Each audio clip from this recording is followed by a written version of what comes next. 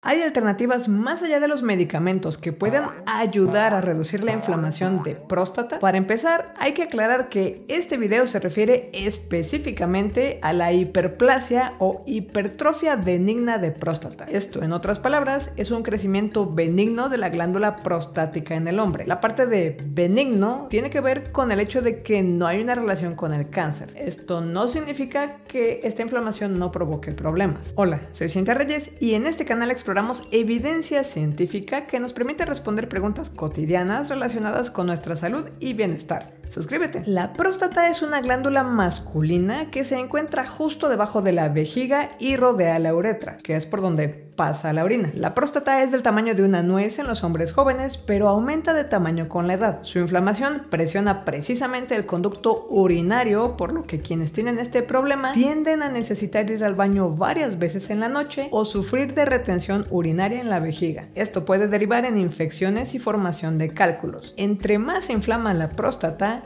más presión ejerce sobre la uretra dificultando el paso de la orina. Una obstrucción prolongada puede debilitar la vejiga y acabar lesionando los riñones. Datos de 2019 indicaban que había alrededor de 94 millones de hombres en el mundo afectados por este problema. Hay evidencia de que la prevalencia de la enfermedad aumenta con la edad. El análisis de tejidos en autopsias sugiere una prevalencia de alrededor de un 10% en hombres de 30 y tantos años, 20% en los hombres de 40 años, entre 50 y 60% en los de 60 años de edad y del 80 al 90% en los que tienen entre 70 y 80 años. Hay varios factores que parecen incidir en este problema. Es posible que el estrés oxidativo, la inflamación, las hormonas sexuales y algunos factores de crecimiento estén involucrados. Hay autores que han propuesto que los hombres con altos niveles de insulina y síntomas diabéticos también manifiestan hipertrofia benigna de próstata, aunque en este video no vamos a hablar tanto de la resistencia a la insulina o la diabetes. Por otro lado, la hormona masculina testosterona puede ser convertida por una enzima llamada 5-alfa reductasa en dihidrotestosterona o DHT para simplificar. Esta última se asocia precisamente con el crecimiento de la próstata. Cabe mencionar que esta DHT también se asocia con la calvicie masculina. De hecho, hay un medicamento llamado finasterida cuya función es inhibir esta enzima que transforma testosterona en DHT y potencialmente es útil para ambos temas. Más allá de un tema de medicamentos, dado que el estrés oxidativo, la inflamación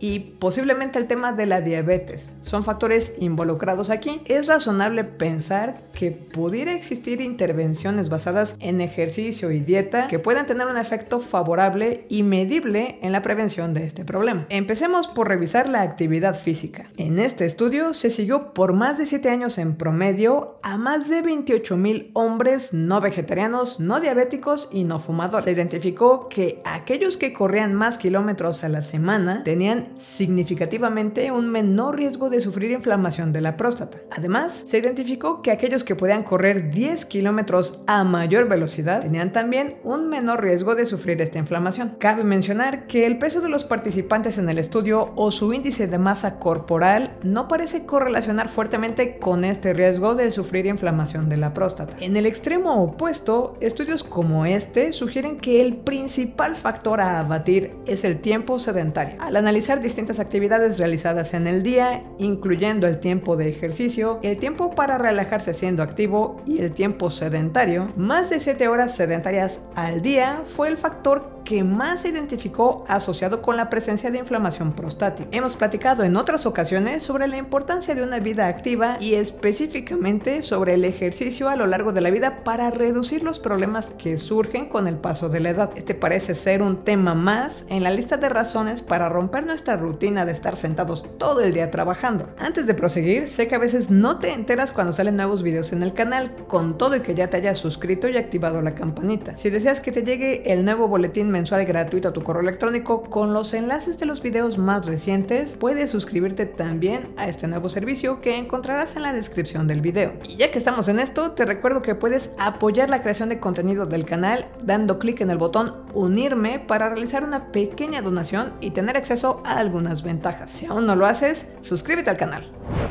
¿Y qué hay con la dieta? En este estudio, aunque ya es un poco viejito, se analizó en total datos de casi 5.000 personas a quienes se hizo seguimiento por 7 años. Se identificó que una dieta baja en grasas y carnes rojas, pero rica en proteínas y verduras, podía reducir el riesgo de inflamación prostática. De hecho, de manera muy concreta, el estudio muestra datos de que la ingesta diaria de carne roja, comparado esto con la ingesta de este mismo alimento menos de una vez a la semana, aumenta más de 30% el riesgo de sufrir este problema. Otros artículos todavía más viejitos como este sugieren que el consumo de frutas disminuyen el riesgo de esta afección, mientras que la mantequilla y la margarina lo aumentan. Otro par de estudios tampoco recientes sugieren que el consumo de cebolla y ajo reduce el riesgo de esta afección. En este otro artículo, que tampoco es reciente y de hecho es un estudio piloto nada más, se trabajó con dos grupos de personas por seis meses. A un grupo se le dio un placebo y al otro se le dio 15 miligramos diarios de licopeno. Resulta que al grupo control, que no se le dio nada, se le asoció con una inflamación prostática en volumen y tamaño de 24 a 27%, mientras que el grupo de quienes recibieron licopeno casi detuvo la progresión del problema. Hay estudios que dicen haber medido unos 4 miligramos de licopeno por cada 100 gramos de tomate. 100 gramos de tomate es más o menos un tomate mediano. Así que estaríamos hablando de aquí de consumir unos 3 o 4 tomates diarios. Como hemos comentado en otros videos, nuestra nutrición no radica nada más en lo que comemos de manera directa. Implica también cómo mantenemos la relación de bacterias benéficas en nuestro intestino y aquí también aparecen estudios que analizan si ciertos probióticos pueden ser útiles. Este estudio analiza cómo las modificaciones de la microbiota intestinal pueden influir indirectamente en la salud de la próstata mediante la activación del sistema inmunitario y la producción de citocinas proinflamatorias. Este otro estudio sugiere que una abundancia alterada de lactobacillus y acetatifactor se asocia con la promoción o inhibición de la muerte celular prostática respectivamente. Esto se espera que pueda tener una incidencia en la inflamación. Finalmente, hay revisiones de la literatura como esta que concluyen que a pesar de que no hay tantos estudios grandes y de calidad, sí hay un patrón claro. Las dietas basadas en plantas muestran ventajas en cuestión de prevención de cáncer de próstata, inflamación y hasta disfunción eréctil. O sea que sí, los probióticos correctos y las bacterias correctas en el intestino de los hombres también son importantes. Esta otra revisión de literatura concluye que una adhesión a la famosa dieta mediterránea de la que hemos platicado en otros videos como este, con énfasis en verduras, frutas, frutos secos, legumbres y pescado, y al mismo tiempo una reducción en la ingesta de carne roja, puede tener un papel benéfico sobre el crecimiento prostático. En el extremo opuesto, revisiones como esta sugieren que las dietas ricas en grasa aumentan el estrés oxidativo en la próstata y eso es algo que no queremos. Así que en resumen, lo que la evidencia que te presento sugiere es mantén una vida activa, evita en lo posible estar sentado todos los días por más de 7 horas, haz ejercicio de manera regular, reduce tu ingesta de carne roja, considera la ingesta de alimentos ricos en fibra y probióticos, acerca tu dieta en general lo más posible a una dieta mediterránea o basada en plantas. Suscríbete al canal y comparte nuestro material. Te invito también a ver este video en el que analizamos si la comida ultra procesada realmente es peor que la comida chatarra. Recuerda que puedes apoyar la creación de contenido con pequeñas donaciones como ya lo hacen ellos. Muchas gracias.